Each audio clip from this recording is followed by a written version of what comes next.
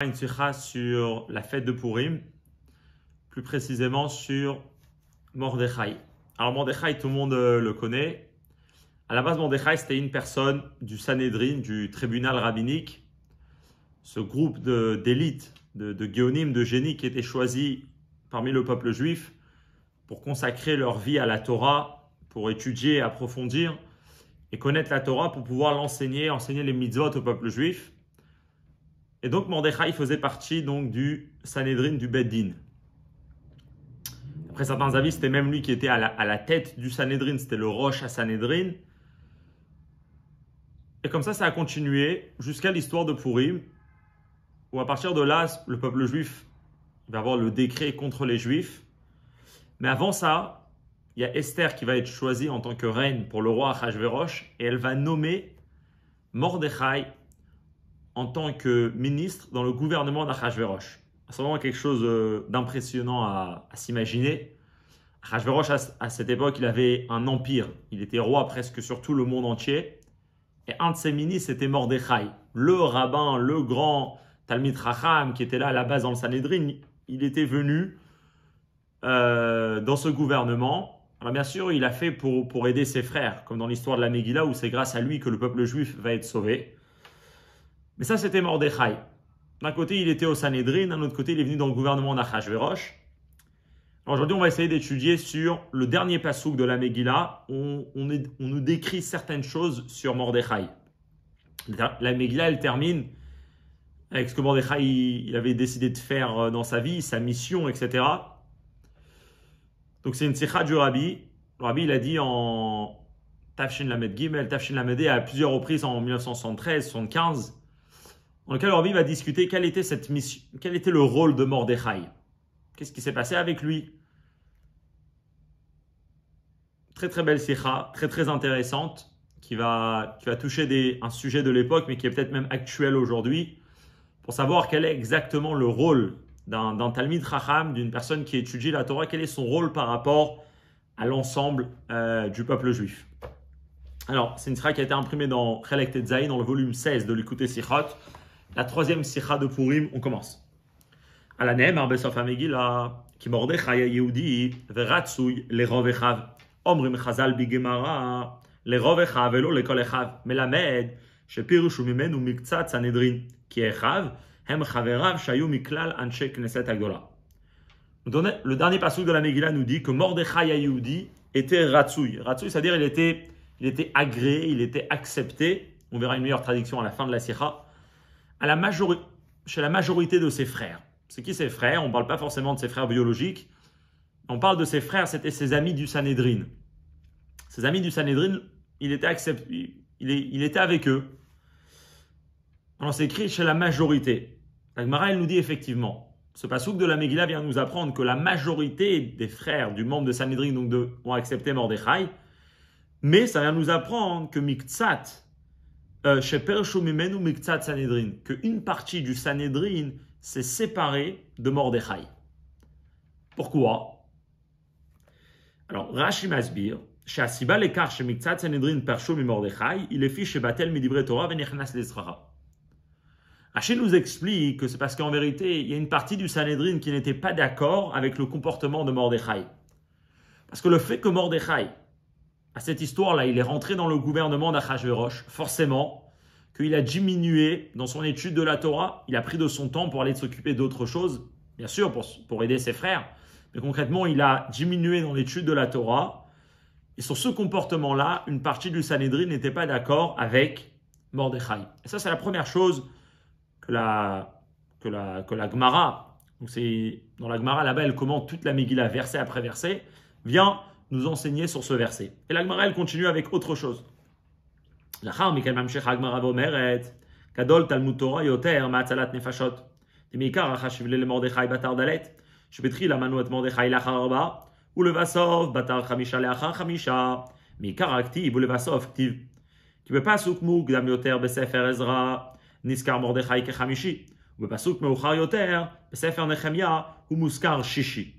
les filles, Shenaase Sar Ben Yarad Mechashivuto et Chachamim.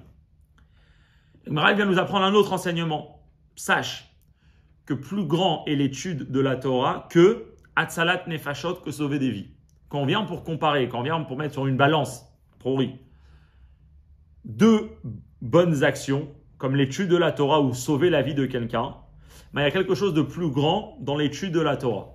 Alors on ne parle pas quand une personne doit faire un choix, il y a une personne qui est en train de mourir, est-ce qu'il doit étudier la Torah Bien sûr qu'à ce moment-là, de il doit aller sauver des vies, c'est pas ça la question. C'est d'une manière générale, qu'est-ce qui est plus important, qu'est-ce qui est plus grand? Bah, La veut nous faire savoir qu'effectivement, dans l'étude de la Torah, il y a quelque chose de plus grand que Hatzalat Nefashot. De où elle apprend ça? Alors elle apprend parce que Mordechai, comme on l'a dit, faisait partie d'un groupe qu'on appelait le Sanhedrin, à l'époque Anshe Knesset Agdola. Donc Mordechai il va être cité dans d'autres endroits dans le Tanakh, dans la Bible. Une fois dans le livre de Ezra, une fois dans le livre de Nehemiah. Quand il est cité dans le livre de Ezra, il est cité en, cinquième. Cinquième personne. Il y a différentes personnes qui sont citées et lui, il est nommé le cinquième.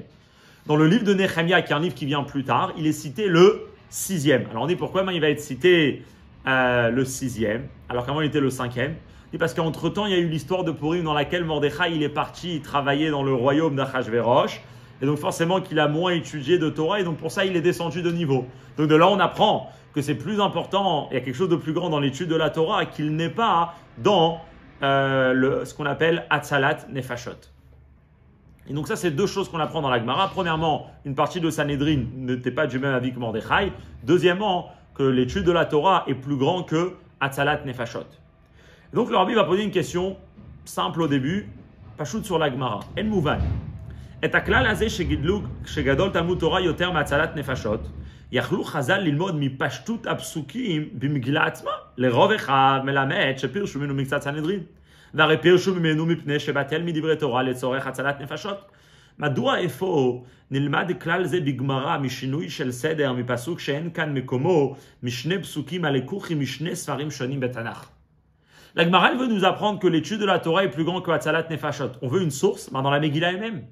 dans la Megillah, il y a une partie du Sanhedrin qui ne pensait pas comme Mordechai. Pourquoi? Parce que Mordechai a arrêté l'étude, en tout cas a diminué dans l'étude pour aller faire Hatzalat Nefashot. Ben, ça même, c'est une très bonne source pour, pour apprendre cette idée-là. Comment ça se fait que la Gemara, qui est en train de commenter la Megillah, va chercher d'autres versets de la Bible du Tanakh, dans lequel une fois il est cité dans ce 5, une fois il est cité 6, dans deux livres différents? Ça serait pas bien de prendre une preuve directement de ce qu'on discutait juste avant. C'est pas, pas une preuve qui est assez suffisante. Ça, c'est une question. C'est une question qui va être posée déjà par d'autres commentaires. Le rabbi va ramener leur, la réponse de, de ces commentaires. יש מפרשים שמלשון המגילה ניתן להסיק שרק לדעתם של הסנהדרין חשוב תלמוד תורה יותר מהצלת נפשות. אך אין הוכחה לכך שמשמיים הסכימו לכך, ולפיכך המונים מוכיחה הגמרא בדרך אחרת, שהתורה עצמה רמזה לכלל זה על ידי שינוי הסדר בפסוקים. Certaines personnes répondent qu'en vérité, de la Megillah, on n'a pas une preuve que d'après la Torah, c'est plus important l'étude de la Torah que Hatzalat Nefashot. Parce que de la Megillah, on voit qu'il y a des personnes du Sanhedrin qui n'étaient pas d'accord avec Mordechai, mais qui nous disent que ces personnes avaient raison, qui nous disent que dans le ciel, Dieu était d'accord avec cette opinion de dire que Mordechai, il n'aurait pas dû faire Hatzalat Nefashot. C'est des personnes. Donc c'est pour ça que la Gemara, elle a besoin de me ramener d'autres endroits dans la Torah elle-même, dans laquelle, quand la Torah, elle parle, Dieu, il parle. Eh ben, Mordechai va être cité en cinquième, après sixième. Ça, c'est une bonne preuve pour nous dire que, ouais, D'après la Torah, ça c'est la bonne manière de se comporter, plus l'étude de la Torah, quoi, tzalat nefashot. C'est une réponse. Comme le rabbi dit, c'est pas une réponse que, qui rentre facilement, elle n'est pas halak, elle n'est pas glatte, elle n'est pas lisse. On entend cette réponse, mais elle est dure à accepter.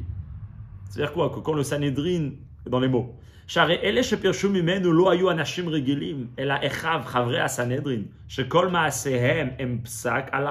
Torah. C'est-à-dire quoi que parce que c'est des personnes qui pensaient que Mordechai n'avait pas raison et c'est pas la Torah. Mais c'est qui ces personnes? Ces personnes, c'était une partie du Sanhedrin. C'était des gens que toute leur mission dans la vie, c'est quoi hein? C'est d'enseigner la Torah au peuple juif.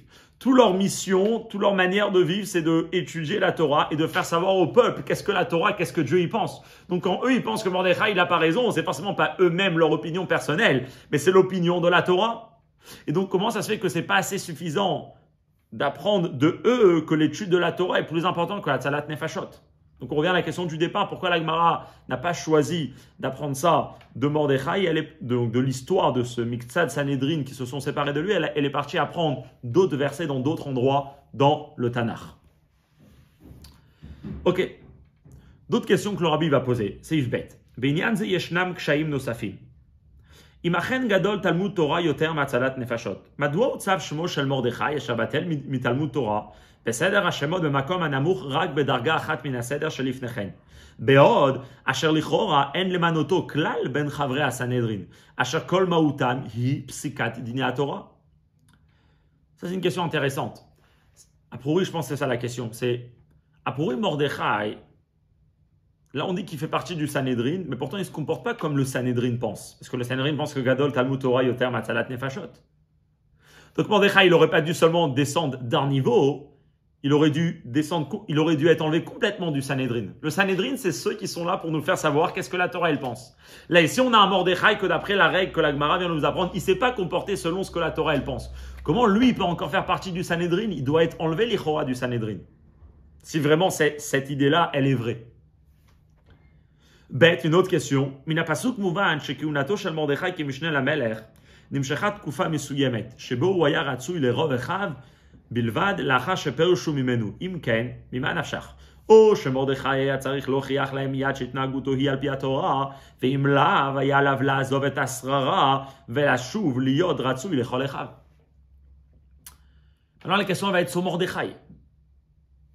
Avant, on ne comprend pas pourquoi Mordechai il n'est pas a priori enlevé du Sanhedrin. Après, il y a une autre question. Mordechai lui-même, qu'est-ce qu'il pensait? Mordechai, c'est un tzaddik. C'est la tête du Sanhedrin. Il voit qu'il y a des gens qui ne pensent pas comme lui. Ils se séparent de lui. Bah, il faut qu'il agisse. Ou bien qu'il aille leur montrer que non, il a raison. Son comportement d'aller faire partie du, du gouvernement, c'est lui quelque chose qui est d'après le chemin de la Torah. Ou si effectivement vraiment Mordechai s'est mal comporté, c'était un choix qui n'était pas, qui était pas le bon, ben, qu'il arrête et qu'il revient au Sanhedrin et qu'il consacre toute sa journée à, euh, à être membre du Sanhedrin, à enseigner la Torah au peuple juif. Là, on voit très intéressant. Une partie du Sanhedrin, il pense qu'il a tort, et lui, il reste dans son opinion. Il reste quand même euh, ministre et en même temps au Sanhedrin. Comme si on dirait, et ça, ça va être la manière que l'Orbi va étudier, qu'il entend ce que eux ils disent, et pourtant les deux pensent que chacun a raison. Mordechai il reste, et eux ils pensent pas comme lui, et pourtant ben, euh, euh, la vie continue. Alors qu'est-ce qui se passe ici Ok, c'est Yves Guimel. ההסבר לכך יובן על ידי שימת לב לדיוק שבלשון המגילה ודברי חז"ל רצוי לרוב אחיו פירשו ממנו מקצת סנהדרין בלבד. כלומר, רוב אחיו בסנהדרין אכן הסכימו להתנהגותו. La réponse pour comprendre comment ça se fait que Mordechai n'est pas parti du Sanhedrin, comment ça se fait que Mordechai n'a pas été enlevé du Sanhedrin, comment ça se fait que l'Agmara elle apprend pas de Mordechai que c'est plus important d'étudier que de sauver des vies. C'est pourquoi? C'est parce que jusqu'à maintenant on a appris qu'il y a des personnes qui pensaient pas comme Mordechai. Venons faire attention au mot de la Megillah? La Megillah elle nous dit que la majorité de ses frères étaient oui. Euh, l'avait lui accepté à Mordechai, ils pensaient oui comme lui tout ce qu'on a parlé jusqu'à maintenant, qu'il y avait des gens qui pensaient qu'il n'avait pas raison, qu'il avait tort, enfin, qu'il n'avait pas raison de, faire ce qu'il faisait, d'aller travailler, c'était uniquement une petite, minorité. Donc la majorité du Sanhedrin pensait, oui, comme Mordechai, que la bonne manière de se comporter est, oui, de diminuer le temps dans l'étude de la Torah et d'aller faire partie du gouvernement.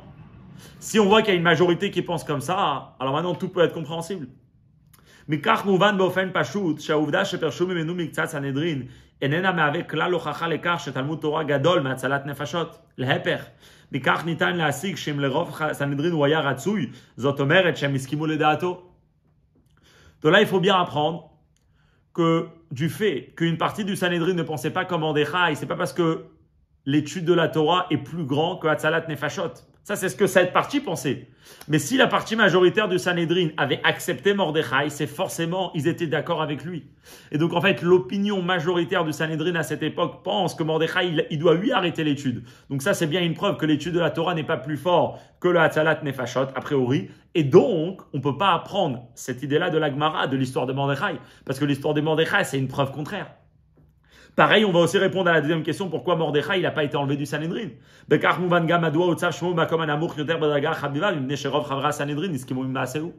Mordechai il va descendre uniquement d'un niveau et pas complètement être enlevé parce que la majorité du euh, pense comme lui.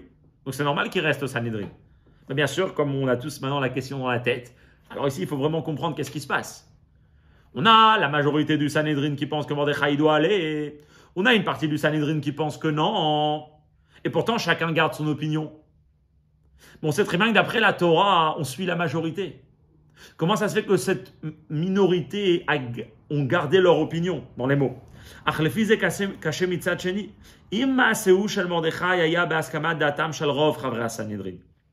Si le comportement de Mordechai était avec le, la askama de euh, euh, l'opinion de la majorité du Sanhedrin, cette opinion-là devait trancher l'opinion de cette minorité et de faire que maintenant, ça y est, on doit accepter que Mordechai a raison et qu'il faut se comporter comme Mordechai. Et donc pourquoi il y a une partie qui s'est séparée de lui, qui ont gardé leur opinion et n'ont pas annulé leur opinion par rapport à l'opinion majoritaire qui est que Mordechai a raison? En fait, de comprendre deux, il y a deux groupes dans le Sanhedrin, les deux pensent d'une manière complètement différente et pourtant les deux ils gardent leur opinion. Comment ça se fait qu'ici on ne va pas suivre la majorité Et bien sûr, à une question essentielle, c'est que d'après tout ce pile-poule qu'on vient de faire, l'Agmara, elle n'est pas du tout compréhensible. Les filles amour les יוצא ששני מאמרי חז"ל המובאים בגמרא זה בהמשכו של זה פירשו ממנו רק מצד סנהדרין וגדול תלמוד תורה יותר מהצלת נפשות סותרים בעצם זה את זה. En fait, l'Agmara ici, elle vient nous raconter deux choses qui sont qui eu un enseignement contredit l'autre. Premièrement, l'Agmara vient nous raconter qu'une partie du Sanhedrin, qui était une minorité, ne pensait pas comme Mordechai. Donc, ça va t'apprendre que la, la, partie majorité de la Torah du Sanhedrin tient, que Mordechai avait raison et Mordechai devait diminuer dans l'étude pour aller aller au gouvernement. Et juste après, l'Agmara, elle m'enseigne que l'étude de la Torah est plus importante. Et c'est pour ça que Mordechai, il descend de niveau. Mais pourquoi? On vient d'apprendre avant que la majorité pense comme lui. Donc, qu'est-ce qui se passe dans toute cette Gemara et qu'est-ce qui se passe dans ce Sanhedrin à l'époque euh, de Mordechai, donc on est quelques années avant la reconstruction du temple, on est juste après le miracle de Purim, qu'est-ce qui s'est passé? Quel était le débat? Sur quoi, sur quoi ces deux opinions étaient basées? Sur quoi ils discutaient? Et euh, ouais, quelle était leur... Euh, quelle idée ici ils étaient en train de partager dans ce Sanhedrin? Et donc, bien sûr, c'est de là qu'on va avoir qu'effectivement, il n'y a pas que noir et blanc dans la vie. Il n'y a pas est-ce que oui ou non. C'est vrai que souvent, on est habitué à ça dans la Torah. Mais si ça va être une histoire qui va nous montrer quelque chose d'intéressant, que pas tout le monde a la même manière de penser, mais pas forcément que parce que deux personnes pensent différent que les deux se trompent. Peut-être peut que chacun réfléchit et, réagit, pense de sa manière qui est bien pour lui et qui est vraie. Et une autre personne va penser de la manière qui est bien pour lui et qui est vraie. Et on, doit, et on doit savoir accepter différentes opinions. Pas tout le temps, on doit tous penser la même chose, et c'est ce qui va se passer dans l'histoire de euh, ce Sanhedrin. Le Rabbi va baser ça sur une autre petite nuance qu'il y a dans comment les Chachamim nous disent que ben, il y avait deux groupes dans le Sanhedrin. On va voir de suite.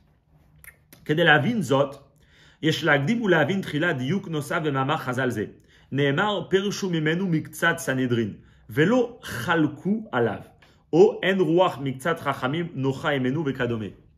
C'est intéressant. D'une manière générale, quand on a deux, quand on a une, une, euh, discussion, une marloquette, on dit le mot, un il a dit une chose et les autres chalkou, ils n'étaient pas d'accord avec lui.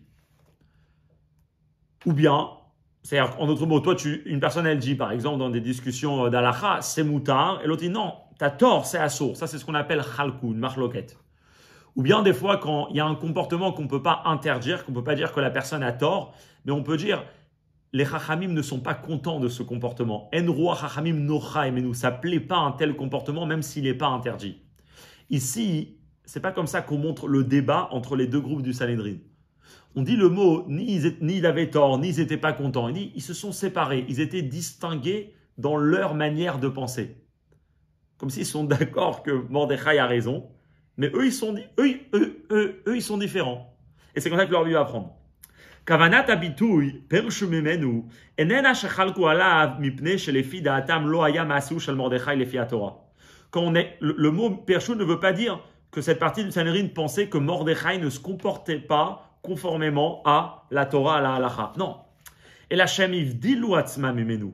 Ça veut juste dire que eux, ils se sont séparés, ils se sont distingués à par leur comportement du comportement de Mordechai. Pourquoi?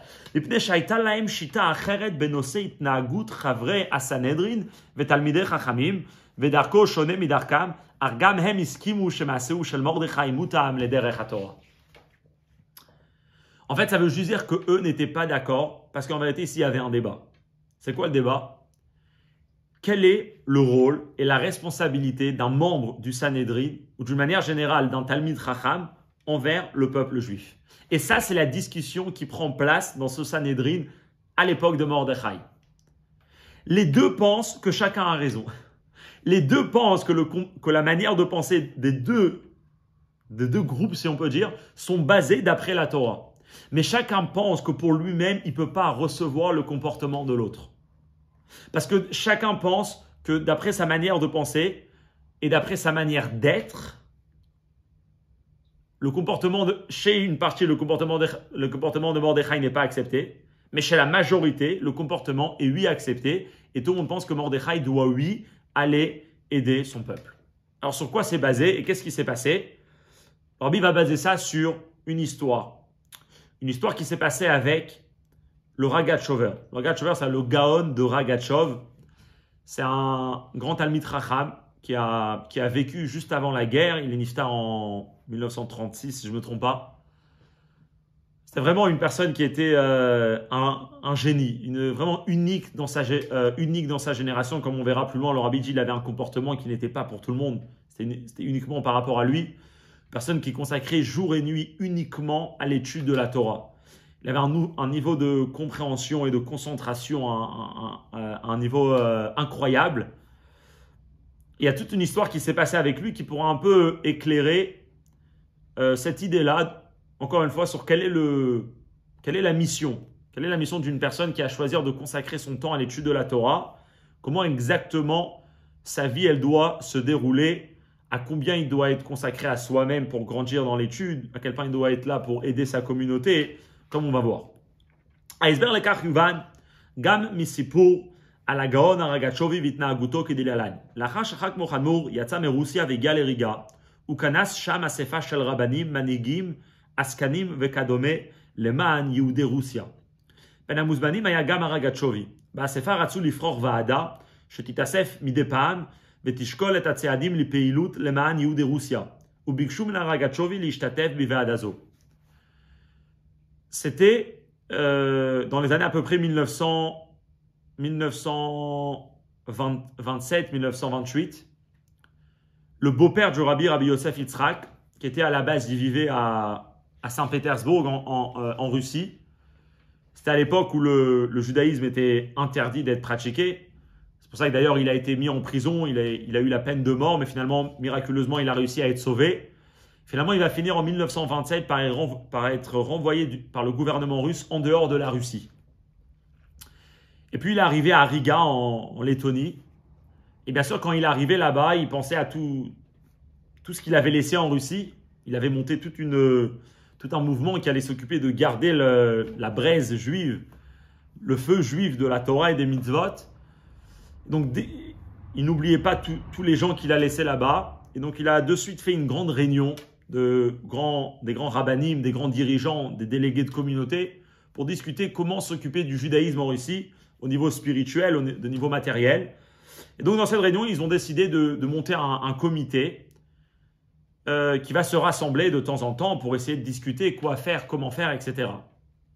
Dans cette réunion, il y avait aussi le Ragachover. Et donc, ils lui ont demandé est-ce qu'il veut participer à ce, euh, dans, ce comité? Ou s'il rêve? Le Ragachover, il n'a pas accepté. Veisbir, et il a expliqué c'est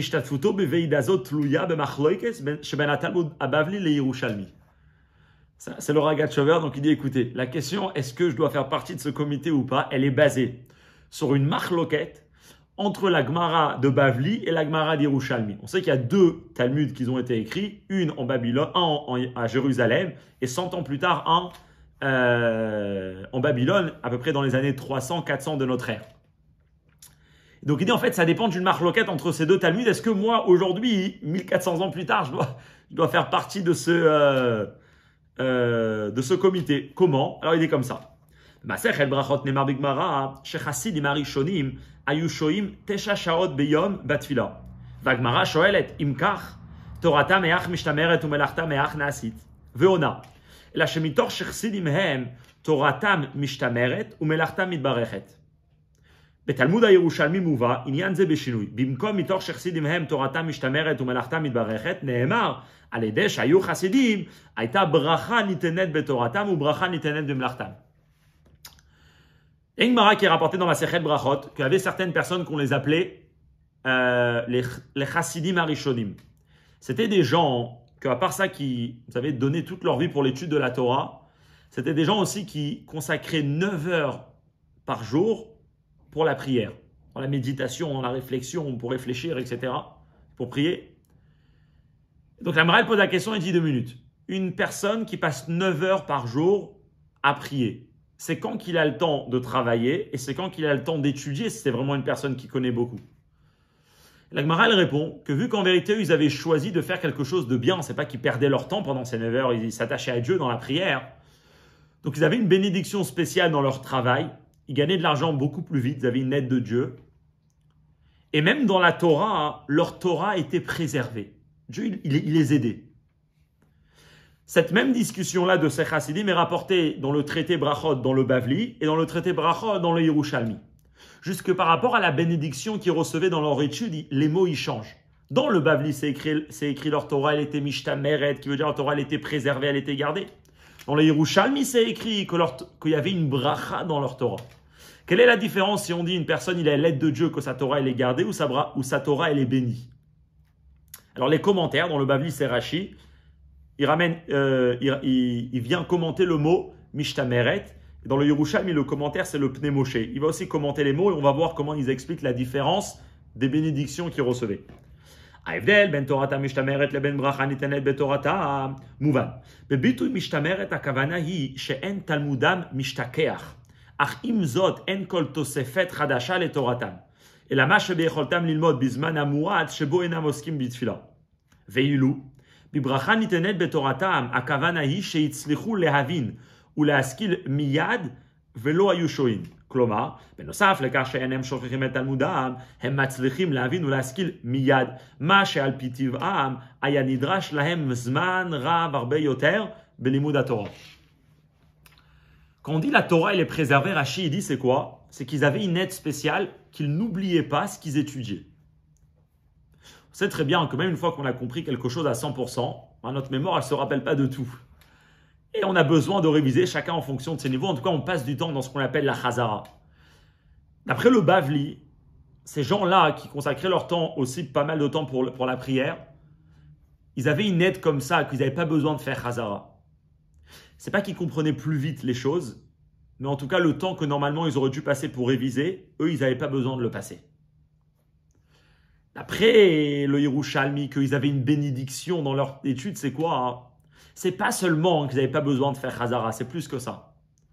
Mais c'est que le temps qu'ils avaient besoin pour étudier d'une manière générale, en fonction de leur capacité, et eh ben là, Dieu, il faisait qu'ils comprenaient beaucoup plus vite que ce que leur nature leur permettait. C'était une aide, c'était une bracha de Dieu, que parce qu'ils ben, ils consacraient leur temps à la prière, qui est quelque chose de bien, eh ben, quand ils arrivaient à l'étude, ils perdaient rien. Celui qui priait 9 heures dans la journée, il connaissait autant que celui qui priait en moins de temps. Parce que celui qui priait 9 heures, il avait cette tête que pas seulement qu'il n'avait pas besoin de faire Hazara, mais qu'il comprenait beaucoup plus vite que ce que normalement il aurait pu comprendre par ses propres forces. Donc on voit que la, bénédiction a les différences d'après le Bavli ou d'après le Yerushalmi. Mais qu'est-ce que cette marloquette vient nous apprendre? Que des fois, même quand une personne ne consacre pas son temps que pour l'étude, mais puisqu'il consacre son temps pour quelque chose de bien, quelque chose de positif comme la prière, eh bien Dieu, il aide qu'il va avoir une bénédiction spéciale, pas seulement dans la prière, mais même dans son étude.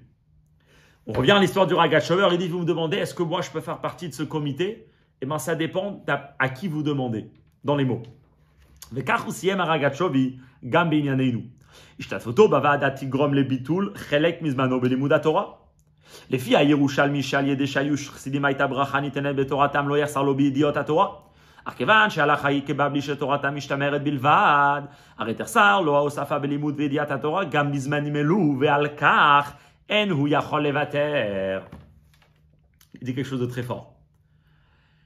Il vous me demandez, est-ce que moi je peux faire partie de ce comité Qui veut dire clairement, est-ce que je peux diminuer de mon temps d'étude et venir prendre euh, de, mon temps pour, faire, pour participer, pour discuter, etc. Quelque chose de magnifique.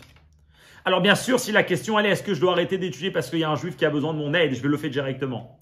Mais là, c'est pas, pas obligé moi, c'est possible encore une autre personne.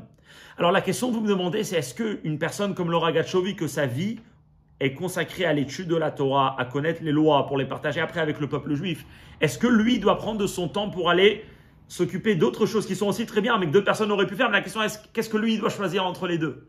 Ben, Il dit c'est simple. D'après le Yerushalmi, que la bracha, quand on fait quelque chose de bien et que Dieu il aide, que même dans l'étude, on ne diminue pas parce qu'on a une bracha spéciale de comprendre beaucoup plus vite. Alors à ce moment-là, je peux venir. Parce que mes connaissances dans la Torah vont pas diminuer euh, parce que je vais prendre mon temps pour, aider les juifs de Russie. Mais par contre, d'après le Bavli, que la seule bracha qu'on a, c'est que on n'a pas besoin de faire Chazara, mais c'est pas qu'on connaît autant. Il dit une personne comme le Ragachovi, que lui, doit, il doit connaître la Torah et ses connaissances doivent être énormes. Il ne doit pas s'arrêter tout le temps de connaître. Il ne peut pas prendre de son temps pour aller étudier. En tout cas, ça, c'est sa manière de penser. Il ne peut pas prendre de son temps pour aller étudier. Maintenant, il dit, qu'est-ce qu'on fait quand le Yerushalmi pense quelque chose et le Babili pense quelque chose? Alors, c'est connu dans la halacha que tout le temps, on va d'après le Batra, on va d'après le, dernière opinion. Quand il y a eu des discussions, même dans l'Agmara, il y a plein d'avis pour celui qui a étudié. Comment on fait pour trancher? On voit c'est qui celui qui a vécu en dernier. Parce que lui, il connaissait tout ce qui était raconté avant. Et lui, pourtant, il a tranché que ça, c'était la bonne manière de penser. Donc, on suit cette opinion. Maintenant, l'Agmara de Bavli, elle a été écrite après l'Agmara Yerushalmi. Donc, quand il y a une discussion entre le Bavli et Yerushalmi, on tranche la loi comme le Bavli. Et puisque le Talmud de Babylone y pense que la seule bracha qu'on reçoit, c'est que le Talmud et on n'a pas besoin de faire Hazara, mais pas qu'on connaît autant, il dit je peux pas faire partie de ce comité. Je peux pas renoncer sur mon étude de la Torah parce qu'après, ben, je vais avoir moins de connaissances dans l'étude de la Torah. Ça, c'est ce qu'il pense le Chover et effectivement, il n'a pas fait partie de ce comité. Bon, en parenthèse, le Rabbi Yosef Yitzhak, qui pensait pas comme ça. C'est ce qu'on verra euh, à la suite. Mais pour l'instant, on reste dans le sujet. On a vu ici une très belle marloquette entre le Bavli et le Yerushalmi. Comment ça se fait que le Bavli pense que ça, c'est la bracha qu'on reçoit et le Yerushalmi pense que ça, c'est la bracha qu'on reçoit? Alors bien sûr, c'est quelque chose de, spirituel, c'est Dieu qui a décidé comme ça, que même si quelqu'un fait quelque chose de bien, ça va pas lui manquer dans l'étude et il n'aura pas besoin de faire Hazara, il va même recevoir plus. Mais sur quoi c'est basé? Alors on peut dire c'est juste basé comme ça. On peut, on peut apprendre ça que le Babli pense ça et le Hoshami pense ça. Le Rabbi, souvent, ce qu'il fait dans les Sechot, c'est d'expliquer que si le Bavli pense comme ça, c'est parce que ça va bien avec la manière générale de réfléchir du Talmud Bavli. Et si le Yerushalmi pense comme ça, c'est parce que ça va avec la méthode générale, comment le Yerushalmi réfléchit. Et ça, ça va être le safe et quelque chose de, magnifique. On va voir qu'en vérité, d'une manière générale, il y a deux méthodes de réfléchir dans la vie et on va comprendre pourquoi les euh, pourquoi chacun pense comme ça par rapport à la bénédiction qu'on recevait dans les mots. Ça il fait.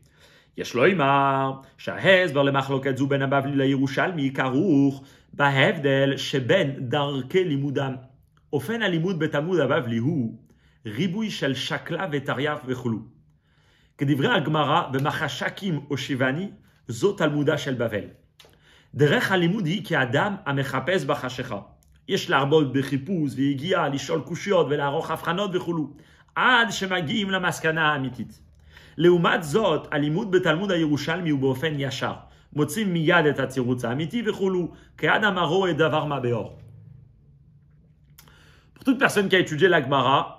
Gemara, il voit très bien que, la, en tout cas, on étudie beaucoup, ils étudient majorité, euh, la majorité du temps, on étudie le Bavli pour beaucoup de personnes, donc on connaît cette méthode.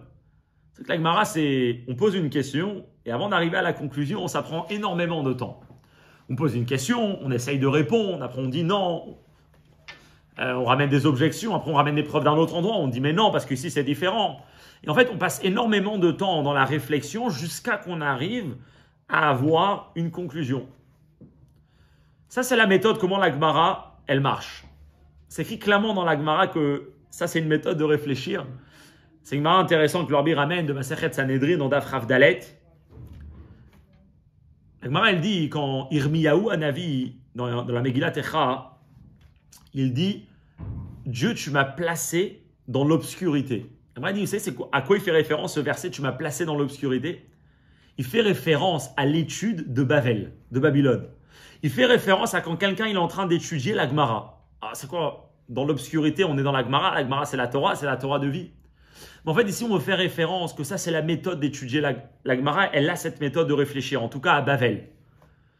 C'est qu'une personne qui est dans l'obscurité, avant d'arriver à son objectif, il doit essayer beaucoup de choses. Si on est dans une pièce et on cherche un certain objet, on va toucher un objet, un autre objet, un autre objet, jusqu'à que finalement on va trouver Ah, ça c'est l'objet que je cherchais. C'est pareil, on veut arriver à une conclusion, mais avant d'arriver à une conclusion, on, essaye énormément euh, de choses. On passe par un salkadata, par un trichuta, par un inaimi, etc. Et jusqu'à qu'on arrive à la conclusion. Par contre, dans la Gemara Yerushalmi, c'est tout le contraire. Toute personne peut le voir avec ses yeux. Ouvrez un Gemara Yerushalmi. C'est très simple. C'est les mêmes discussions que la Gemara de Bavel, la même macérette, la même chose, juste qu'on va directement au but. On pose une question, on a la réponse. C'est comme une personne qui est dans la lumière, qu'il voit directement ce qu'il a en face de lui. Non, ça, c'est deux méthodes de réfléchir dans la vie. Et chacun a sa qualité. Une personne qu'avant d'arriver à la conclusion, il a essayé énormément de réponses. Une fois qu'il arrive à la réponse, peut-être qu'il a plus de clarté dans le sujet. D'un autre côté, une personne qui prend la vie directement, il a la réponse, il voit la lumière, c'est peut-être qu'il est dans un autre niveau de réflexion plus élevé. On va, c'est pas, euh, à juger, c'est deux méthodes qui existent. Yesh basé, ma chaîne basée, comme on dit. Mais là, ça va faire la grande différence. Si on voit le Talmud Bavli, on dit, alors toi, tu vas avoir une bracha dans ton étude. Une personne, venons prendre une personne qui, a, aussi cette manière de réfléchir. On lui dit, toi, tu vas comprendre directement. Tu vas pas passer par euh, tout ce temps-là de réflexion avant d'arriver à la conclusion pour certaines personnes, ce n'est pas une bénédiction. Parce que pour une certaine personne, ça veut dire moins connaître. Parce que ça qui passe par une objection, ça qui passe par une preuve, ça qu'il essaye une réponse, une autre réponse, une réponse, c'est pas parce qu'il est bête, au contraire. C'est parce que lui, il pense que ça, c'est la meilleure manière d'arriver et bien connaître un sujet.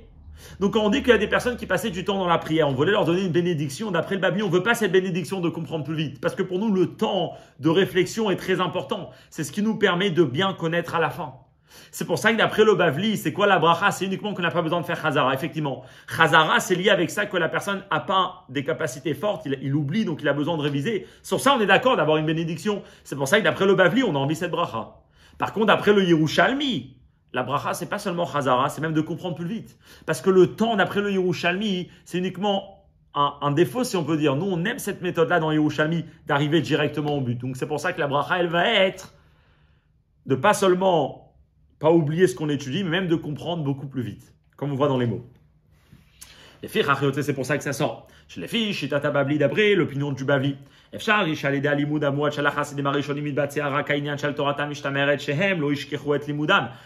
אך לא באופן של ברכה ניתנת בתורתם להבין ולהשכיל מיד, דבר שאיננו מתאים לסדר הלימוד של הבבלי. D'après le Bavli, on ne veut pas avoir cette bénédiction qui est de comprendre directement l'étude, euh, ce qu'on étudie, vu que ce n'est pas de la manière de réfléchir comment une personne de Bavel réfléchit.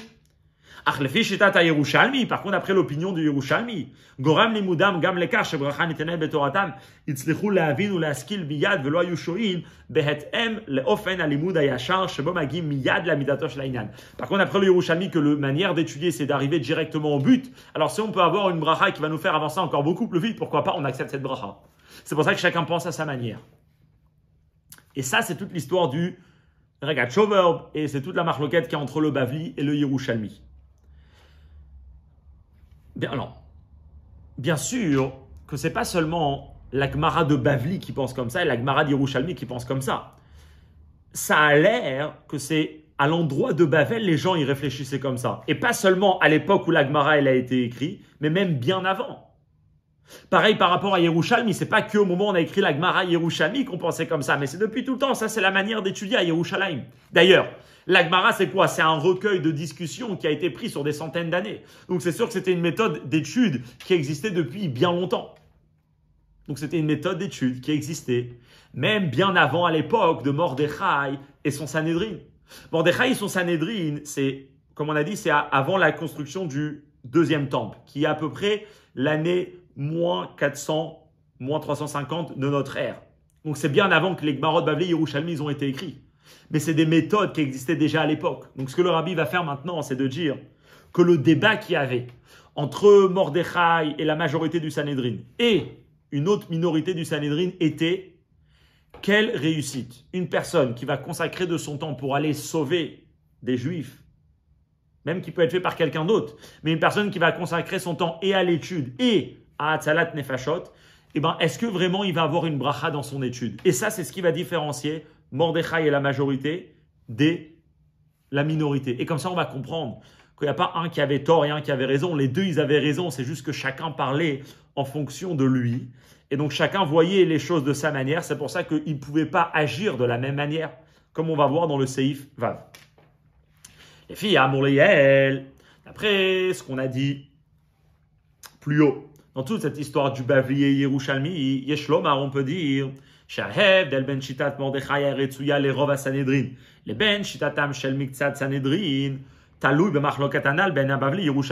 La machloket entre le rov du Sanedrin et le miktsat Sanedrin est basée sur la machloket entre le Bavli et Yerushalmi. Alors, Rabbi va nous montrer, c'est ce qu'on va lire, qu'en fait, à cette époque-là, dans le Sanhedrin, il y a des gens qui viennent de Yerushalayim, il y a des gens qui viennent euh, de Bavel, et pour ça, chacun pense différemment. שיטתם של הסנהדרין הגדולה שנבחרו מן הסנהדרין הקטנה, שמקומם בירושלים או לפחות בארץ הקודש, מתאימה כפי שסביר לומר לדרך הלימוד של הירושלמי, במיוחד בתקופת המשנה ואנשי כנסת הגדולה. À la période de Mordechai, פשוט dans un point historique, euh, à la période de Mordechai et du Sanhedrin, la majorité des gens qui vivent, même qui sont à cette époque à Shushan, en Perse, ils viennent de Yerushalayim. À la base, toute la tout le peuple juif habite en terre d'Israël. C'est avec la destruction du premier temple que Nebuchadnezzar il a éparpillé les juifs. Mais à cette époque, bon, ils, ils, viennent tous de où? Ils viennent tous de Yerushalayim. D'ailleurs, de manière générale, le Sanhedrin, il était situé à Yerushalayim, à l'endroit du Beth Amikdash. Et les gens qui faisaient partie du Sanhedrin, ils habitaient majoritairement, ou enfin tous ceux qui habitaient au Sanhedrin du Beth Aminrash, du Beth Amikdash, ils devaient habiter ou à Yerushalayim ou même en Eretz Israël. Donc cette méthode du Yerushalmi, c'était une méthode qui appartenait à tous les gens qui venaient d'Eretz Israël. D'ailleurs, comme Rabbi ramène dans la note 16, il y a quelque chose de spécial. On dit que En Torah que Torah Eretz Israël. Eretz Israël, c'est une méthode spéciale de réfléchir qui est liée avec le Yerushalmi. Et ça, c'est la partie majoritaire des gens du Sanhedrin à cette époque. Argam Az, Ayutanaim Sheigiu Bavel. Mais même à cette époque, il y avait des gens qui habitaient Bavel.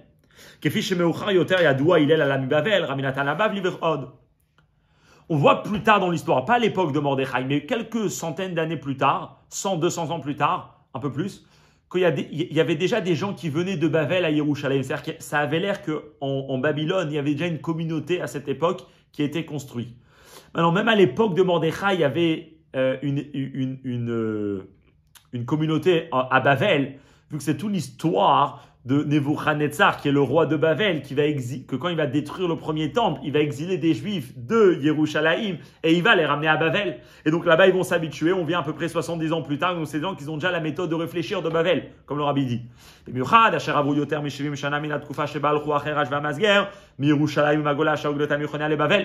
עד שכנסת הגדולה היו משבי הגולה, אשר רגלה נבוכדנצר מלך בבל לבבל, וישובו לירושלים ויהודה בשנה אחת לכורש, לאחר שהיו 52 שנה בבבל, אך גם מבין החרש והמסגר אשר כבר בירושלים, הם היו ידועים במעלתם זו באופן הלימוד זה. Ok, on va pas rentrer dans tous les détails de euh, ce, que ce, ce, que ces mots ils viennent dire. Celui qui veut bien voir la note 24 et 25 qui fait référence. Bon, en tout cas, ça a expliqué comment il y avait des gens qui venaient de Bavel à cette époque.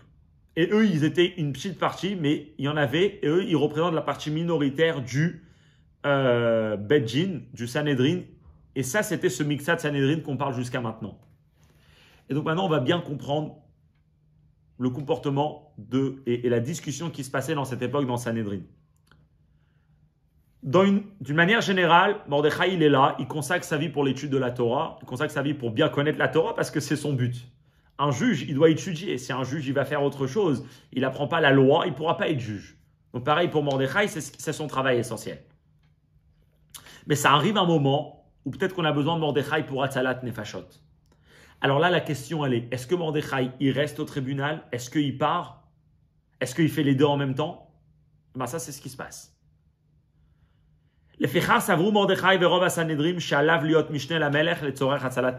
D'après Mordechai et la majorité du Sanhedrin, Mordechai doit aller dans le gouvernement d'Achashverosh, travailler là-bas pour être à l'aide de ses frères pour faire Atzalat Nefashot. Imzot est quand même où Yachol Ishaer ben Sanhedrin Vanchek Knesset Agdola, Shekol Inyanam ou Limud Torah, il peut quand même rester au Sanhedrin. Il peut quand même faire partie de Vanchek Knesset Agdola, car pour c'est des personnes qui consacrent toute leur vie à l'étude. Comment il pourra faire les deux ensemble? il pourra pas bien connaître les lois, il pourra pas bien enseigner à priori. Il te dit non. Parce que Mordechai, il sait qu'il y a une bracha spéciale pour ceux qui aident le public, pour ceux qui sont là à l'aide de frères juifs, comme on a vu d'après les Yerushalmi. Qui a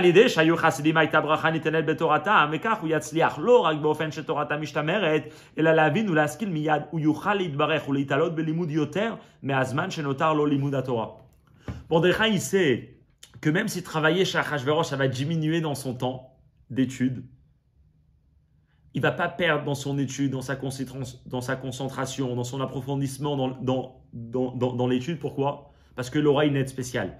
Il aura une aide qui va connaître autant que s'il ne serait pas parti aider ses frères. Il aura une aide que autour du Sanhedrin, il ne sera pas moins bien et il n'aura pas moins de connaissances que tous ceux qui sont assis autour. Parce qu'il aura la bracha spéciale qui vient chez une personne qui consacre son temps pour faire d'autres bonnes choses, qui réussit pas seulement parce qu'il fait et l'étude et des bonnes choses, mais qui réussit autant qu'une personne que tout son temps a été consacré pour l'étude de la Torah. Donc Mordechai, la majorité du Sanhedrin qui tiennent comme le Yerushalmi, il y a cette bracha qui vient, ils disent bien sûr que Mordechai, vas-y. Ah, comment tu vas faire pour juger les gens? Est-ce que tu vas pas te tromper dans, dans, tes enseignements? Est-ce que ça que tu vas juger, ça va pas être un manque de réflexion parce que tu es occupé avec d'autres affaires? Comme on peut comprendre une personne qui est dans le gouvernement d'Achadjorosh Pas du tout. Parce que tu as la bracha spéciale de Dieu. Achayou ben Sanhedrin gamikza, limudam alemut, bavli kidel. Mais il y a une partie du Sanhedrin qui étudie comme le Bavli.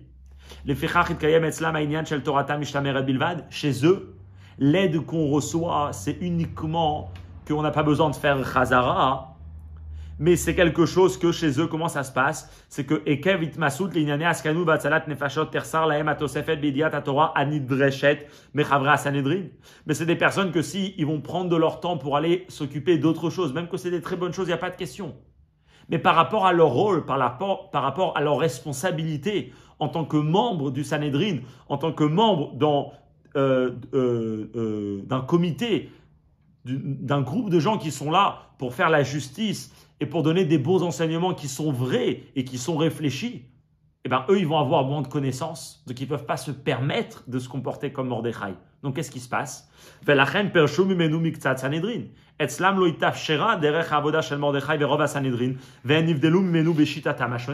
Donc eux, ils se séparent. Pas qu'ils se séparent, qu'ils sont pas d'accord. Ils se distinguent dans leur comportement parce qu'ils pensent qu'ils doivent, que eux, ils doivent rester toute la journée comme ça dans, dans cette méthode parce que eux, ils peuvent pas connaître moins hein, s'ils vont rester dans le Sanhedrin. Mais ils sont d'accord que Mordechai, il a raison. Et ça, c'est ce qui nous explique toute l'histoire dans ce Sanhedrin à l'époque de Mordechai.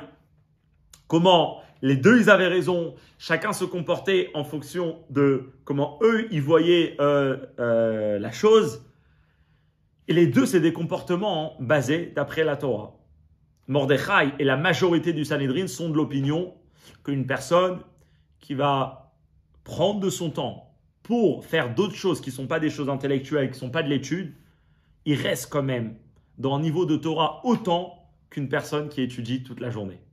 Ça, c'est la manière de Mordechai de réfléchir. Et donc maintenant, on comprend pourquoi Mordechai il est resté, pourquoi Mordechai il n'a pas changé de comportement. Dans le Zayn, il va nous manquer quelque chose un peu. Alors d'après ça, Mordechai il avait tout à fait raison. Pourquoi alors il est descendu de niveau? Ça, tout le monde est d'accord qu'il est, au lieu de cinquième, il est passé sixième. Mais si Mordechai il a autant de connaissances, si Mordechai il est autant juge que tout le monde, il n'est est pas moins. Alors pourquoi il descend de niveau? C'est Zayn.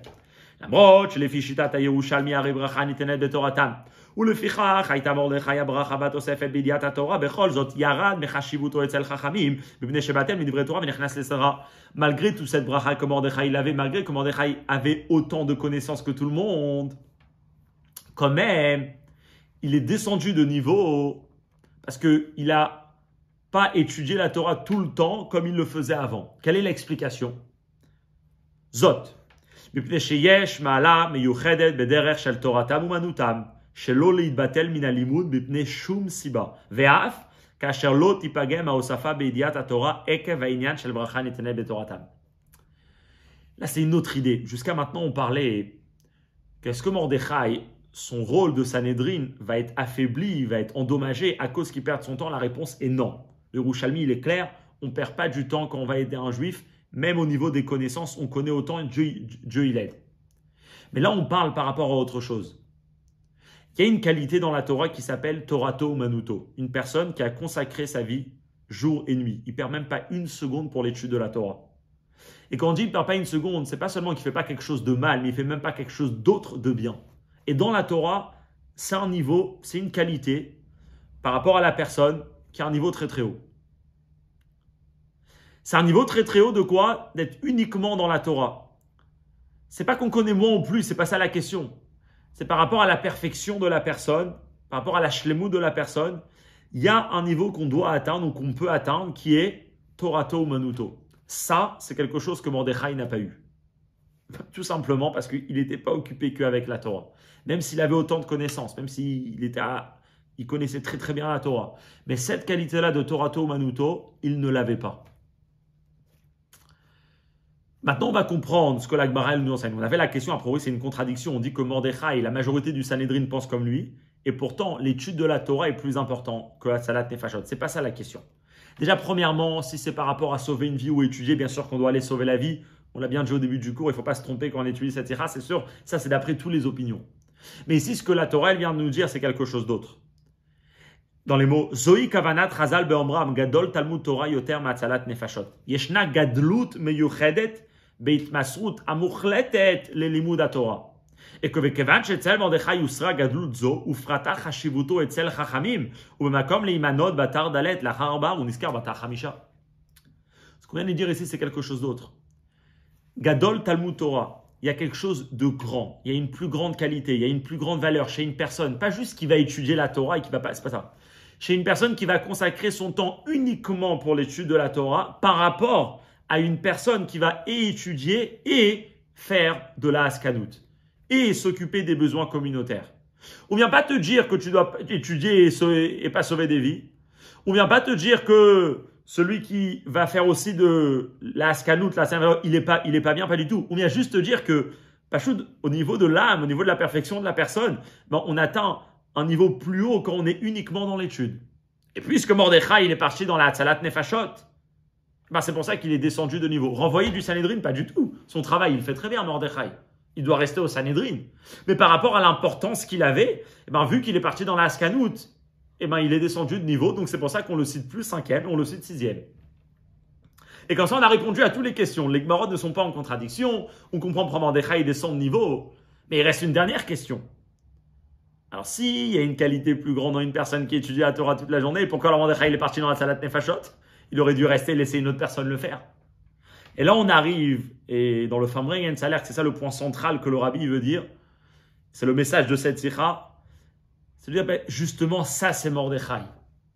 Mordechai vient nous dire, et comme ça pense la majorité du Sanhedrin, qui a dit que la perfection personnelle vient avant le bien du public? Bien sûr qu'il y a une qualité dans Torah Manouto, on est tous d'accord.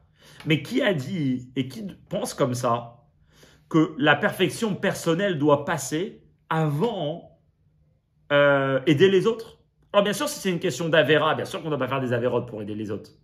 Mais là, c'est une question, est-ce que moi je vais être dans un plus haut niveau? Bah, Peut-être que non. Peut-être que la mission pourquoi on a été mis sur Terre, c'est peut-être toi être dans un niveau plus bas, mais au moins tu fais la Tzalat Nefashot. Et ça, c'est ce que le, le Mordechai et la majorité du Sanhedrin pensent, dans les mots.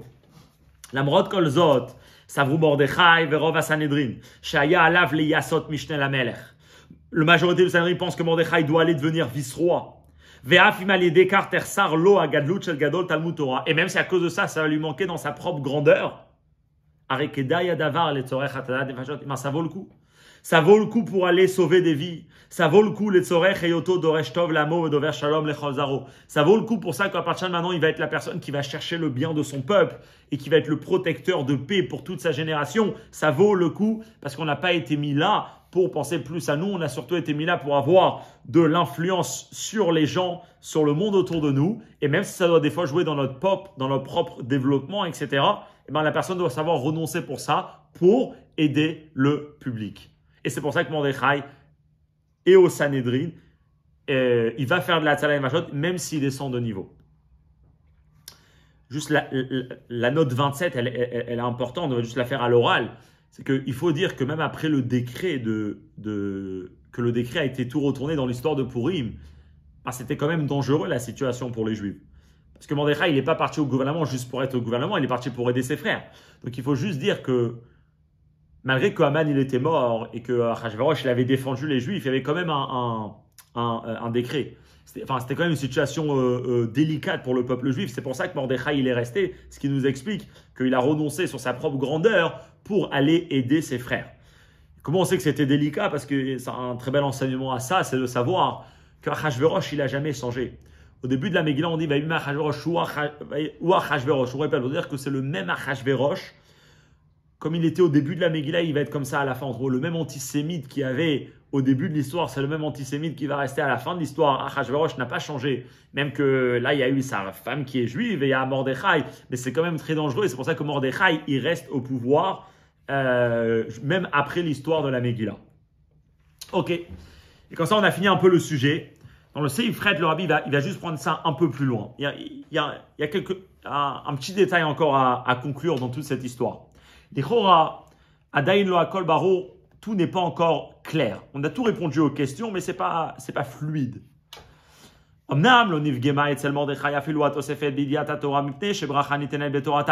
C'est vrai que chez Mordechai, il ne manquait pas dans ses connaissances parce qu'il avait cette bracha spéciale qui est donnée aux gens qui donnent de leur temps pour aider le public, pour aider le Thibaut. Et c'est vrai que ça vaut le coup pour Atzalat Nefashot de même renoncer sur une perfection personnelle.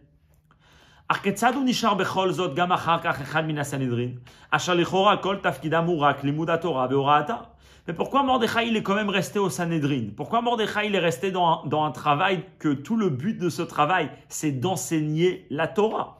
Belachan acheret en d'autres mots. Ketzadir itachen shal chavrea Sanhedrin atzmam tachul achova levater al toratam umanutam leman nefashot. La question ici qu'on veut discuter, c'est juste un, un dernier point qui est, qui est le suivant, qui est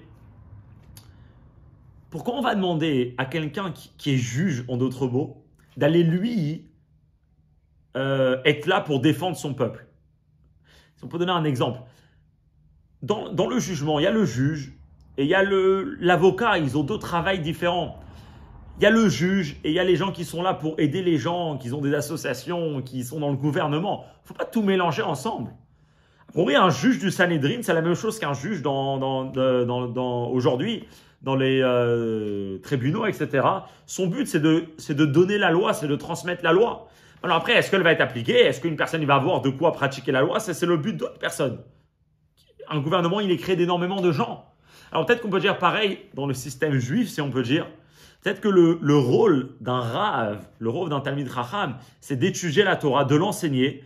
Est-ce que lui, après, ça va être lui qui doit être là dans, dans, dans l'aspect physique des choses pour aider le peuple? Ça, c'est le rôle de d'autres personnes. Il y a le rave et il y a le haskan. Ouais, il y, a le, il y a le rabbin, il y a le président de la communauté, il y a le président de la synagogue. Chacun s'occupe de différentes choses. Mais pourquoi on doit mettre au rave ce travail-là de lui aussi aller faire Atzalat Nefashot? Ça a l'air peut-être un peu contradictoire.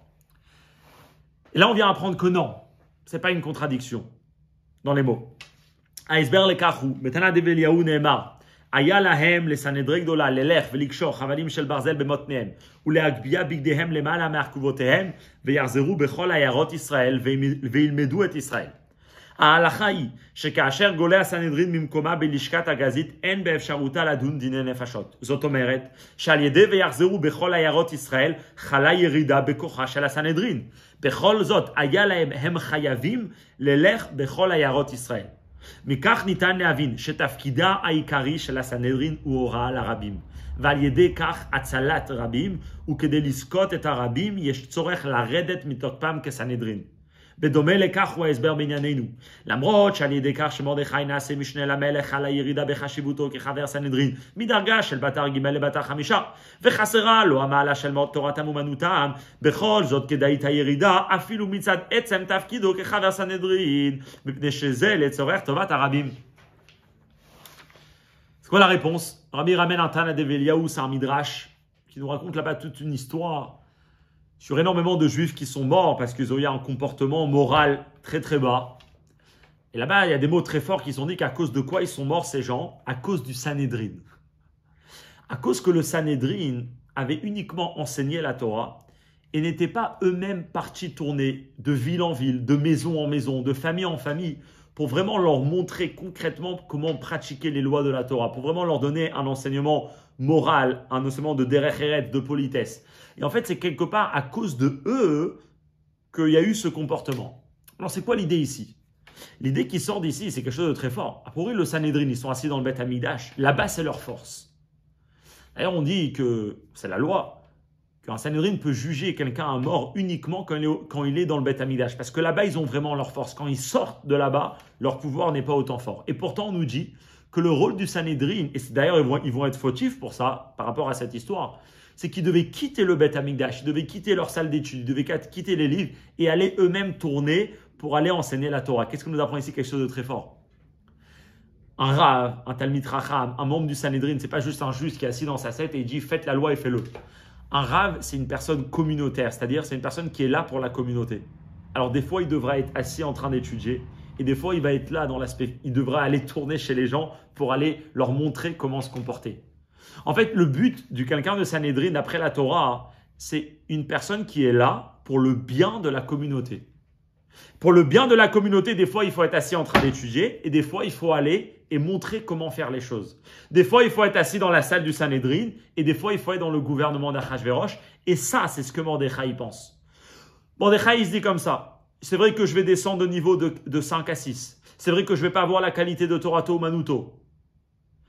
Mais ça, je dois le faire, pas seulement parce que c'est important de penser aux juifs, mais parce que c'est aussi le rôle d'un membre du Sanhedrin. Un membre, un juge, d'après la Torah, un rave, un dayan, une personne qui connaît la Torah, c'est pas uniquement pour lui. Il la connaît pour la partager avec son peuple. Et donc c'est pour ça que Mordechai et la majorité du Sanhedrin trouvent nécessaire ça que lui, il doit quitter le Sanhedrin. Et comme ça, le rabbi clôture tout ce sujet-là. De là, on va arriver ça, c'était à l'époque, il y a à peu près, euh, il, y a plus, il de 2400 ans en arrière, 2000, euh, ouais, plus de 2400 ans en arrière avec Mordechai. Pourtant, on a vu, et on peut voir jusqu'à aujourd'hui, que peut-être il, y a, certaines tendances, certains raves qui n'ont pas peut-être la même approche qu'on pense ici. Alors, quel doit être le comportement aujourd'hui d'une personne pareille? Et le rabbi va prendre pour exemple aujourd'hui, comme à l'époque de Mordechai, dans sa génération, avec la majorité du Sanhedrin, il y avait une partie qui pensait que Mordechai ne devait peut-être pas faire comme ça, hein, mais la majorité du Sanhedrin pensait comme Mordechai. Aujourd'hui aussi, on a vu un tel modèle de personnes qui ont renoncé sur leur propre perfection et leur propre connaissance pour aider le peuple juif. Et bien sûr, c'est qui? Le rabbi ne parlait pas sur soi-même, mais il a parlé sur son beau-père, le rabbi Rayatz qui était dans l'histoire, tout le comité, etc., qu'il avait, tous les réunions qu'il a fait, et même de la vie personnelle de Rabbi Rayat. Pour tout celui qui s'intéresse, on voit une personne qu'on peut voir des livres du Rabbi Rayat qui connaissait énormément. Il avait même un niveau des marines de Chassidou du Rabbi Rayat. C'est des discours chassidiques qui sont vraiment très, très, très profonds. Et pourtant, si on voit la vie concrète du Rabbi, donc du Rabbi précédent, Rabbi Yosef Yitzhak, il était vraiment occupé avec des choses qui avaient l'air très simples. Il était là en train de sauver des vies, physiquement et même spirituellement.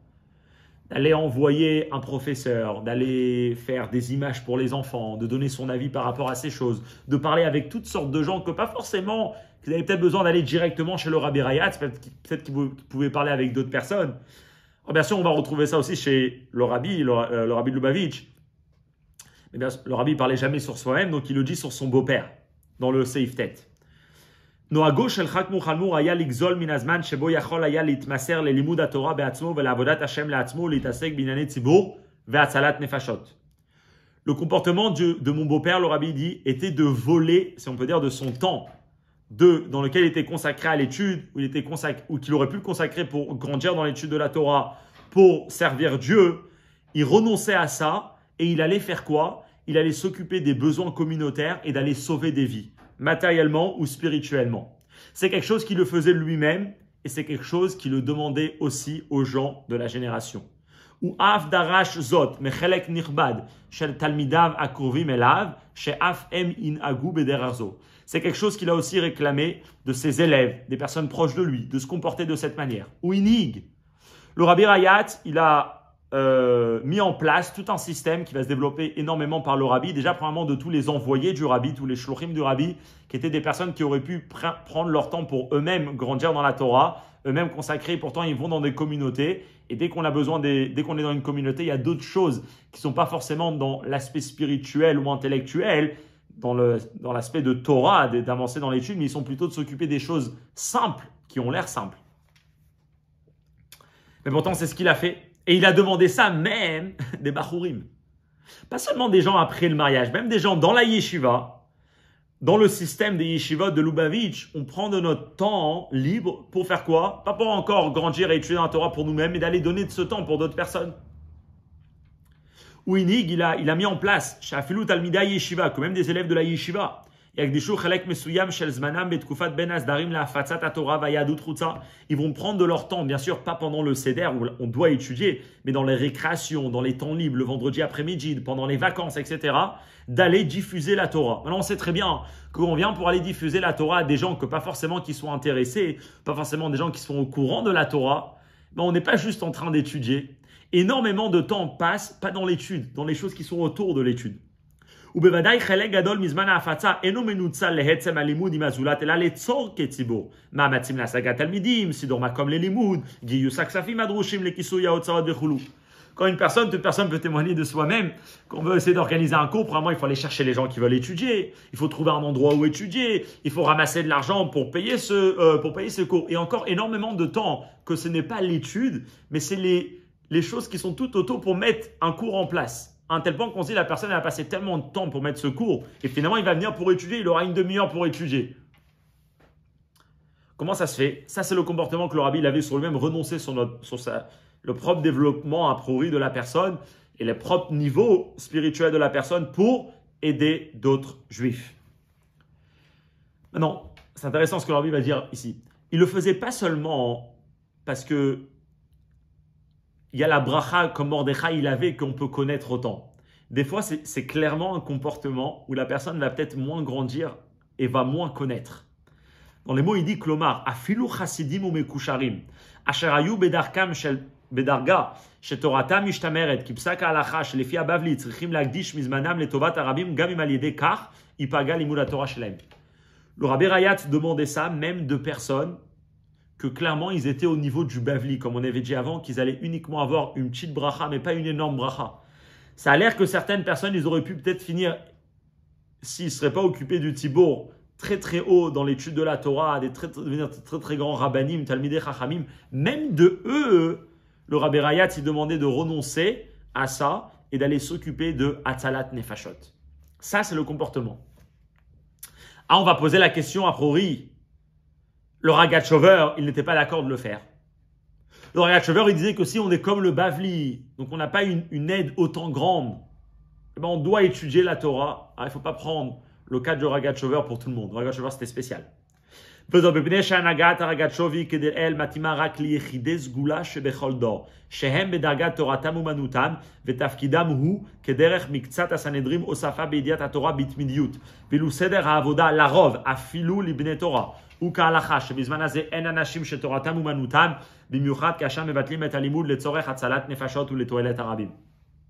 La réponse, elle est simple.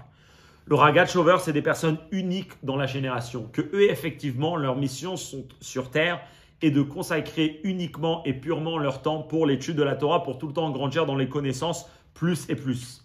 Mais le comportement pour la, ce qu'on appelle Torato Manuto, le comportement pour la majorité des gens aujourd'hui, c'est quelque chose qui a été tranché dans la Lacha clairement. On n'a plus de gens de Torato Manuto. On n'a plus des gens qu'on consacre notre vie que pour l'étude de la Torah. Le Ragat oui, c'est des Yechidés La majorité des, temps, des gens aujourd'hui, on sait passer notre temps aussi pour d'autres choses. Ok?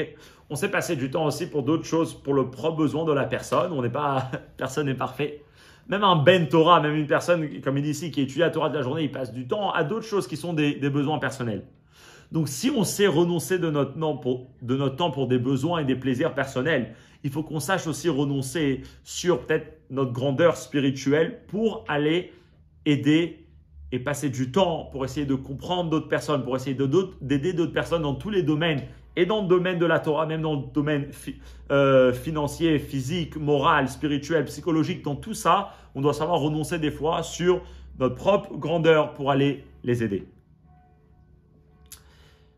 Le rabbi il dit, euh, bien sûr, ça c'est par rapport euh, à certaines personnes. Chez les, chez les rabbis, il y avait une bracha spéciale qui, qui c'était comme Mordechai. לגבי חג מוכנור עצמו יש להעיר שמי יודע אופן עבודתו. בכלל ידועים דבריו של הבעל שם טוב על הפסוק קום יורי כי בא אורך וכבוד השם עלייך זרח שאמר אתם נשיאי ישראל המוסרים את תורתם ועבודתם למען טובת הרבים מה יהיה עליכם? הרי זה קום יורי הפרטי לכללי. כלומר les Nessiers Israël, yesh bracha miyuchadet shelo ifagmu etzlam Torah va'avoda va'deraba ba'orech uchval Hashem al zarach lelo yachas bracha nitenet betoratam.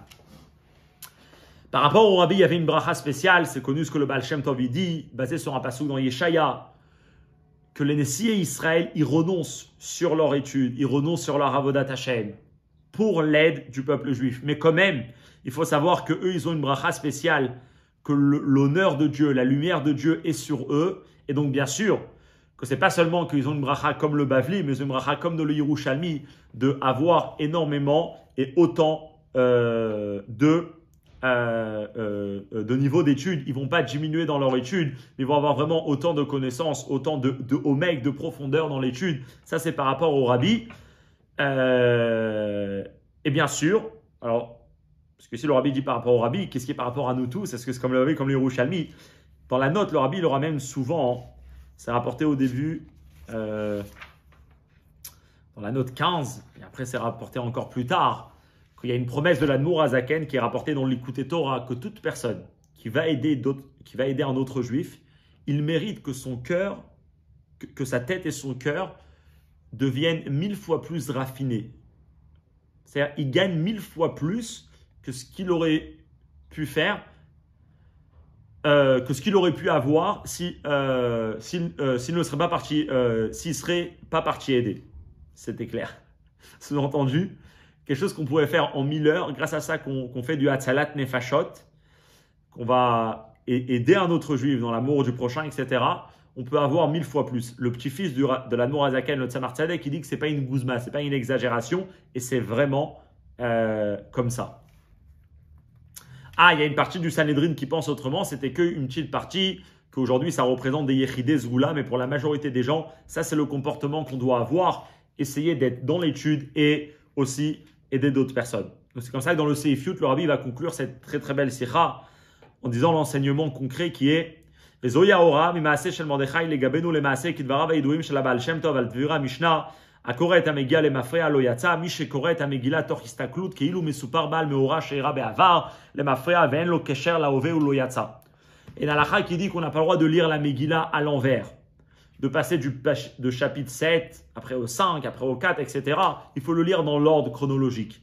Le Baal Shem Tov, il apprend cette, c'est une Mishnah, ouais, dans ma Sechet Megillah. Le Baal Shem Tov, il apprend d'une manière comme ça. On n'a pas le droit de lire la Megillah à l'envers. On n'a pas le droit de lire la Megillah et penser que c'est une histoire qui s'est passée il y a très longtemps. Et c'est une histoire qui n'est pas de l'actualité aujourd'hui. Chaque idée, chaque message, chaque détail de l'histoire de la Megillah, il faut comprendre que ça a un message concret dans, un, dans, dans une situation d'aujourd'hui en vérité, bien sûr, on va comprendre de toute cette histoire que ce n'est pas seulement un débat qui a eu lieu il y a 2000 ans en arrière, mais c'est vraiment une question d'actualité pour chaque personne aujourd'hui, en 5783, en 2023. Une personne, il doit savoir faire la part des deux. Personne, il doit savoir et, bien sûr, étudier la Torah pour soi-même. Bien sûr, grandir personnellement et avancer dans le chemin de Torah mitzvah, dans la Avodat Hashem. Mais il doit aussi savoir donner de son temps pour d'autres personnes pour aider d'autres personnes, etc. Nidreshet darko shel Mordechai. On demande de nous d'avoir le même comportement que Mordechai. Liot mishne la meler que liot doreshtov le amo de shalom lechol zaro. De chercher le bien du peuple, d'être le protecteur de, de, paix de toute la génération. Pas faire différence entre les juifs. Savoir aider chacun dans le besoin dans lequel il est, à n'importe quel niveau, spirituel, spirituellement, matériellement. Va filu kasher mishum karuratsu irak lerov echav. Et même si ça va faire qu'on va être accepté chez pas tout le peuple juif, certaines tendances, certains, certains rougim vont peut-être pas être euh, du même avis, c'est pas grave. Il faut savoir être comme le comportement de Mordechai. ולמרות שאצל רבים כרוכה דרך זו בירידה, מפני שלשם כך יש צורך בוויתור על השלמות העצמית, הרי כדאי את ירידה זו לטובת הרבים. Et même si chez certaines personnes d'avoir un tel comportement, ça va demander de renoncer sur un certain rêve ou sur une certaine perfection qu'on aurait aimé avoir, ben, il faut savoir que ça vaut le coup, cette, cette pour le bien du Rabbim. Le bien du Rabbim, c'est quelque chose qui passe avant. Comme le Rabbi dit, dans le Farmregen, il est très intéressant d'apprendre aussi les Farmregen quand cette Sikha elle a été dit. C'est ça la mission essentielle pourquoi, pourquoi on a été mis sur terre. Il le dit là euh, aussi dans la parenthèse. Nishmato yoredet migra rama lebira amikta.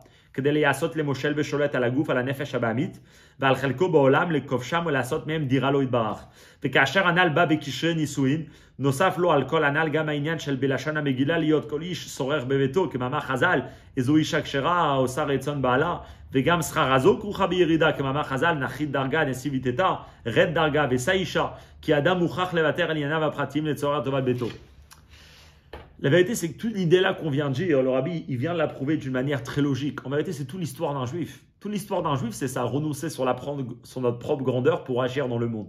Venons, on prend à la base juste le fait d'avoir un juif dans ce monde. N'importe quelle personne qui est dans ce monde, c'est une âme dans un corps. Le corps, il limite l'âme. L'âme, à la base, elle était un avec Hachem. était toute la journée dans la sainteté, uniquement dans, dans, dans la pureté. Et d'un coup, elle a un corps, même le corps le plus saint. Il a besoin de manger, de boire, de se reposer, c'est une perte de temps. Pourtant, on voit que ça valait le coup. Pourquoi? Pas Pour transformer le corps et pour élever le corps, pour élever ce monde-là matériel. Même, c'est le chemin du manière générale qu'on prend dans la vie. À la base, hein, une personne, il naît dans une bonne famille, Baruch Hashem, et il y va à la yeshiva, il étudie, il étudie, il grandit, il est que dans sa tête, d'un coup, dit va te marier. C'est quoi va te marier?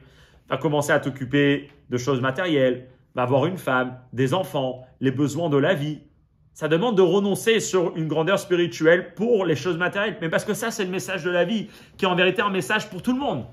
On n'est pas là uniquement pour nous, on est là surtout pour agir dans le monde, pour avoir de l'influence autour de nous.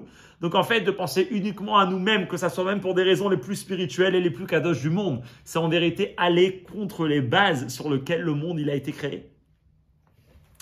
C'est où Esber l'écart C'est d'ailleurs ce qui peut nous expliquer.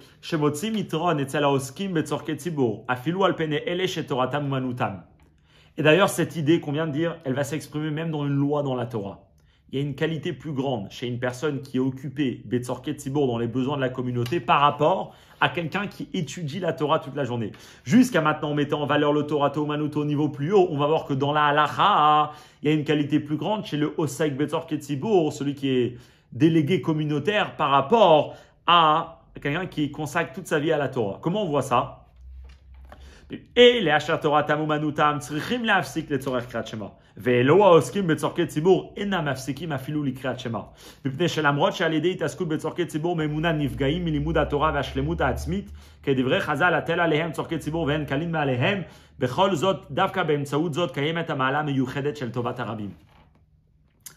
Si quelqu'un il est en train d'étudier la Torah toute la journée, il doit quand même s'arrêter dès que ça arrive. Et alors, il n'a même pas besoin de s'arrêter pour la prière. On parle que de Torah ou Manuto, comme le rabbi l'a dit, c'est rapporté dans la Lacha, qu'il n'y en a plus aujourd'hui. Peut-être le, le Regat Chever, il était de ce niveau-là. il n'y en a plus aujourd'hui. En tout cas, eux, ils doivent s'arrêter uniquement pour le Kriyat Shema. S'arrêter, faire Shema Israël et continuer l'étude.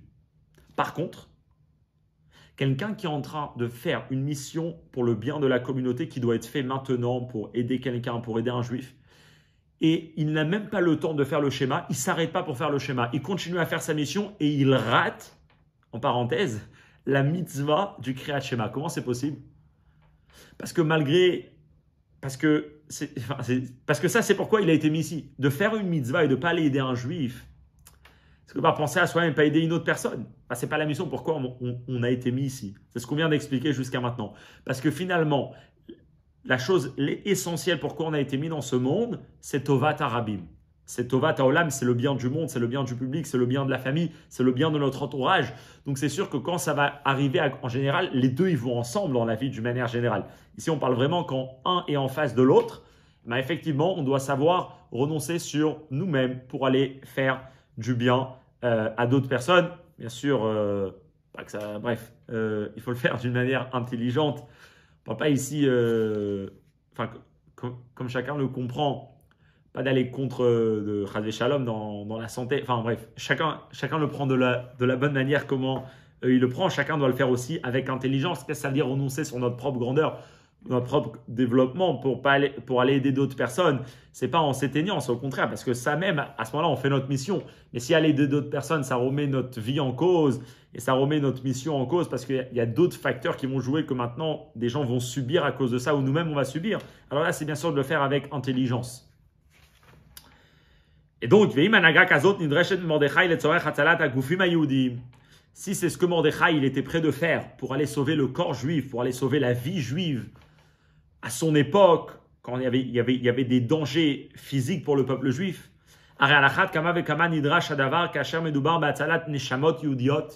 C'est sûr que c'est quelque chose qui est demandé de chacun quand on parle pour sauver des âmes juives, des âmes juives qui, qui ne sont pas aujourd'hui encore, qui ne peuvent pas encore représenter leur âme qui est à l'intérieur. Il faut savoir renoncer sur euh, notre propre grandeur dans la Torah pour aller faire Atzalat Nefashot, Kedeliot Dover Shalom, les Zaro, pour être celui qui va amener la paix pour toute la génération. Et qu'un tel comportement, Adasher Israël, Osim Tshuva, le peuple juif fera Tshuva, ou Miyad En Nigalim, ils vont de suite être libérés, Bekarov Mamash, que ça se passe très prochainement de nos jours. Amen. Et comme ça, cette sikha se termine, cette très belle sikha qui nous donne vraiment un, mode d'emploi clair, logique, euh, sensé, pour bien nous expliquer quel est, le rôle de chacun. En effet, Mangen, le rabbi parle vraiment que c'est sur ça qu'il a basé tout le fondement du mouvement de la Shlichut, qui était de prendre des juifs religieux, pratiquants, qui auraient pu devenir des très grands, mais ça, ça aurait touché uniquement leur bien personnel. vu qu'on a été mis dans ce monde pour avoir une influence sur le monde et sur l'entourage autour de nous, donc on a décidé de les envoyer dans, des communautés loin dans lesquelles ils vont s'occuper des besoins matériels, physiques, etc. D'autres personnes, d'autres juifs, même personnellement, personnellement pour chacun, que ce soit pour chacun chez, chez soi, la famille. Des fois, on a, cette idée-là de dire euh, peut-être euh, être énormément pas présent pour sa famille, pour nous-mêmes trouver dans la Torah. Il faut savoir que c'est pas une contradiction. Il faut réussir à vraiment trouver la paix entre les deux et savoir des fois peut-être renoncer un peu sur soi-même pour vraiment amener le bon chemin à notre entourage, à notre, euh, à notre famille. Et c'est ça qui amènera le Mashiach très prochainement. Amen.